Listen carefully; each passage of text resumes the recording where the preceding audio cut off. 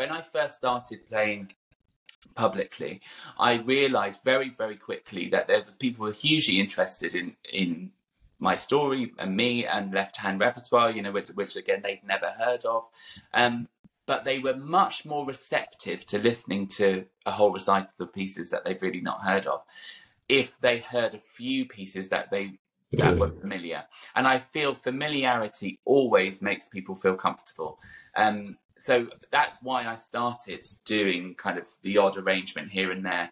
Um, to, to really for my audiences it was, it was for them to for, for i wanted them to feel oh yes, I recognise because I've got a, a, a, fan base who a lot of my fans they don't go to classical music concerts. They